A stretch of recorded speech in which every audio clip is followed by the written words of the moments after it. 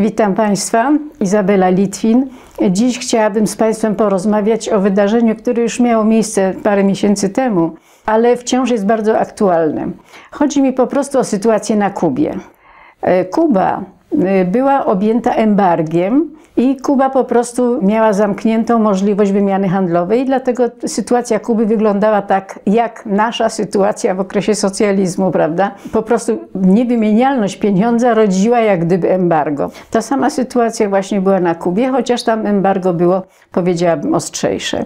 No, wszyscy się bardzo cieszyli, że dzięki papieżowi, tam Amerykanom i tak dalej, wreszcie Kuba może już uczestniczyć w handlu międzynarodowym i będzie mogła działać tak jak każdy rzekomo normalny kraj. E, rzekomo normalny, bo wiemy, że te wszystkie kraje nie są normalne, bo niestety one tracą swoją suwerenność. I co by nie powiedzieć o Kubie, to co prawda była bardzo biedna, ale z całą pewnością była suwerenna, a w tej chwili już suwerenna nie będzie. Dlaczego?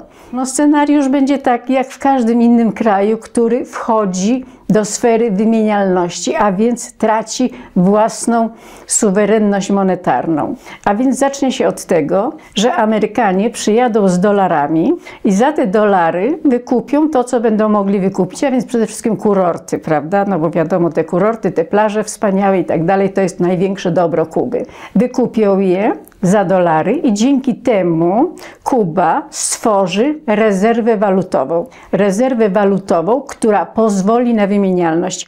Bo pamiętajmy, że żeby waluta była wymienialna, ona musi być oparta na rezerwie dewizowej, bo to jest po prostu taka sytuacja, kiedy kraj wiodący, no w tym wypadku hegemon, czyli po prostu Stany Zjednoczone, wyposażają Kubę we własną walutę.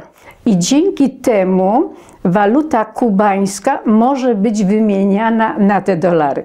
Te dolary, które wpłyną na Kubę, spowodują boom gospodarczy. Na początku boom gospodarczy na pewno będzie, dlatego że będą odbudowywać te wszystkie rzeczy, więc zatrudnią Kubańczyków do tego. Kuba zacznie po prostu kwitnąć, zaczną do, przyjeżdżać turyści, ale kto będzie czerpał profity z tych hoteli, z tych kurortów, z tego wszystkiego? Właściciele.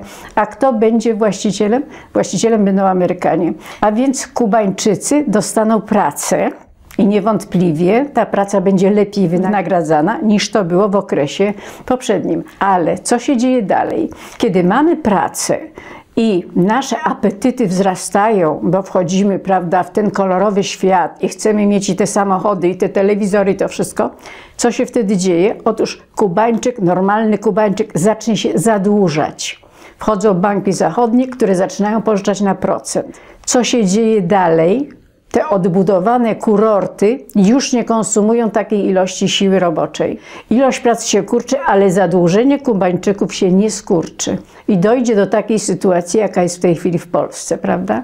Z równoczesnym, pełnym zadłużeniem Kubańczyków i bardzo trudnym okresem. Na samym początku, kiedy jest ta praca, kiedy jest ta nadzieja, to jest to pierwsze zachłyśnięcie się i ten dług potem narasta. Narasta, a sytuacja się pogarsza.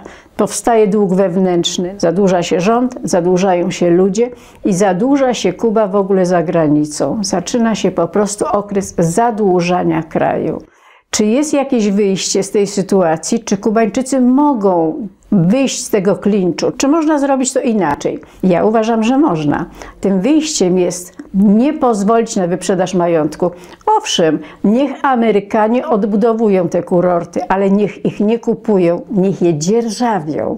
Dopóki będą dzierżawić i nie będą kupować, dopóki będą wkładać te dolary w majątek kubański, to będzie wszystko dobrze. Więc mam nadzieję, że Kuba tak właśnie postąpi. Ta sytuacja na początku zawsze jest bardzo korzystna dla ludności, bo nagle ludność wchodzi w ten kolorowy świat. Ożywają nadzieje. Zaczyna się po prostu boom. To, co u nas było w 1989 roku, kiedy zachłysnęliśmy się światem zachodu. Ale potem przychodzi otrzeźwienie i wtedy cóż, Przypuszczam, że materialnie może będzie się Kubańczykom żyło lepiej, ale przestaną tańczyć na ulicy. Dziękuję bardzo.